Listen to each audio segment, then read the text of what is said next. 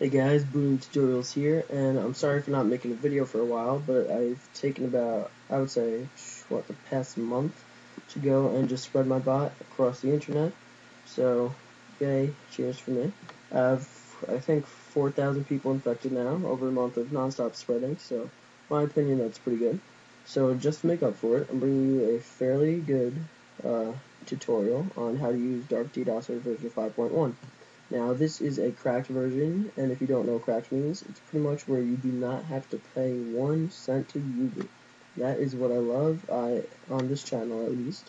I'm only going to bring to you guys free DDoSers and host booters. I will never bring you guys anything that you have to pay for unless I have made it and I'm actually charging you myself. Alright, plus it'll be cheap. It'll only be like $5 for DDoSer because I'm not going to be gay like 35 or 20 bucks. Okay, well, what you're going to want to do is download the .rar file. You want to right-click it wherever the directory of it is and click Extract here. There's only one file in it, which is the dark dot, uh, server 5.1 cracked. Since I do already have it, I'm just going to recycle it. Mine's in my taskbar, so once you open it up, I did not crack this, by the way. It'll say who cracked it when it opens up. It's the Old Warrior at topleakers.com. I'm pretty sure. Just gotta wait for it. There we go. Cracked by the Old Warrior at topleakers.com. Now you're gonna want to click enter, but before I do, I'm going to pause the video because it comes with a login screen, and you can enter whatever username and password you want. It doesn't have to be an actual account. You can just make one up. But it does say your IP address below it, so that's why I'm not going to do it.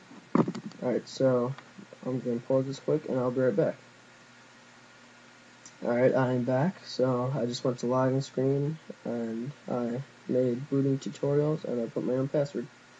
Alright, so what you're going to want to do right now is, well, here I'll let you guys take a second to look at all the settings. You could take people's passwords. I'm not too sure how well that works on cracked version because I've been having problems. Tell me if you guys do. Leave a comment below. Alright, yeah. Alright, so, yeah, we got when you go to the builder, this is where you're going to want to put your no IP, and I'll be right back for one second. I just got to go make. Alright, I just made one, so copy and paste it right in there. Mine's a98.no-ip.info. Alright, now the port, this can be any open port. It doesn't have to be a certain port. It could be port 1, 2, a million, who cares. Alright, now I am going to show you how to port forward really quickly. You want to go to your web browser start menu, go to CMD.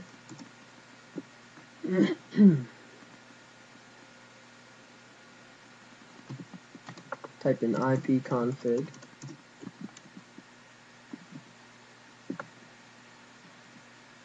Alright, now you want to see your default gateway and type that into your web browser. Mine's 192.168.1.1.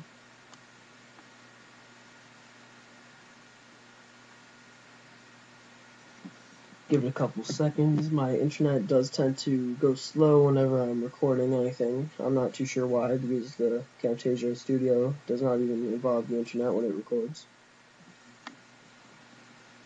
You know what, I'm just going to pause this and I'll be right back once done. Alright guys, just finished loading, so once it's loaded, well, it'll actually come up with a login screen. It should say username password. I have a Linksys, so the default username is blank. The default password is admin, but I did already log in. Sorry about that. Forgot to unpause it there. But once you have logged in, you want to go to the port forwarding section of your router.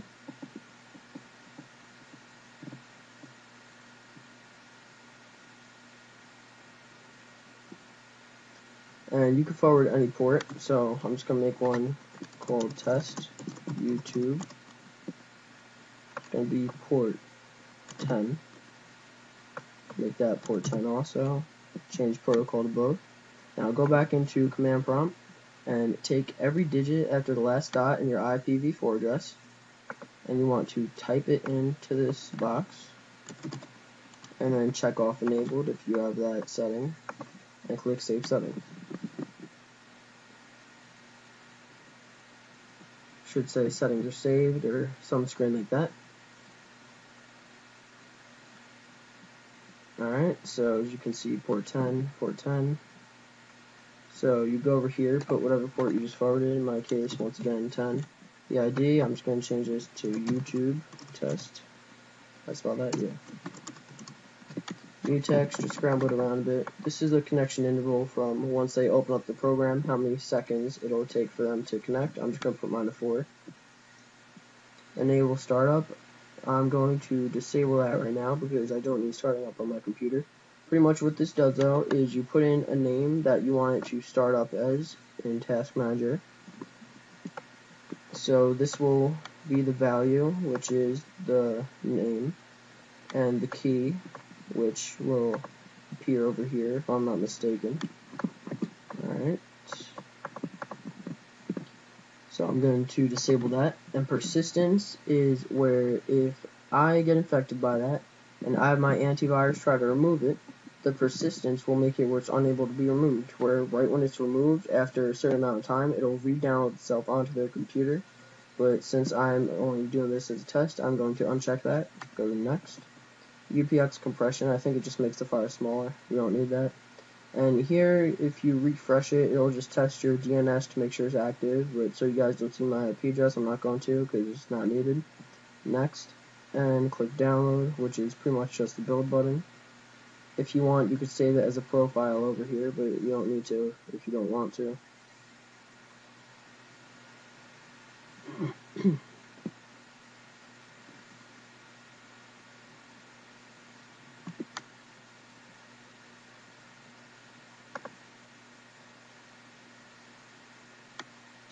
Just save mine to my desktop as YouTube test.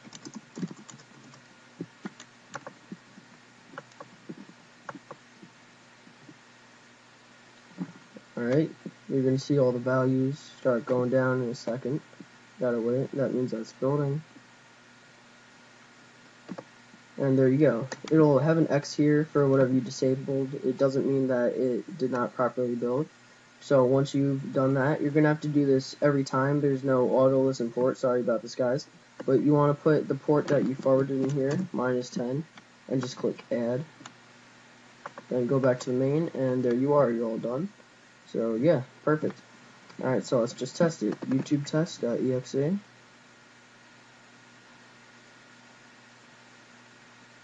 Open it up. Give it a second.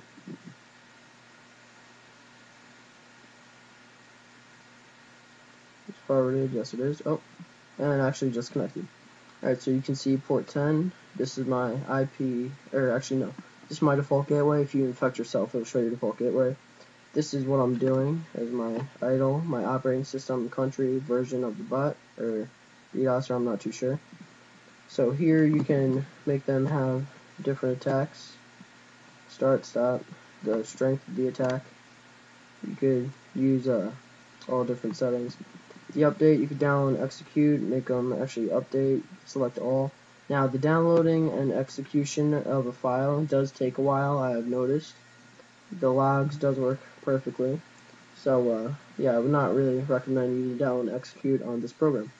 Alright, YouTube, well, there you go. That's how to use Dark DDoS Server version 5.1. Please rate, comment, subscribe. Download link will be in the description.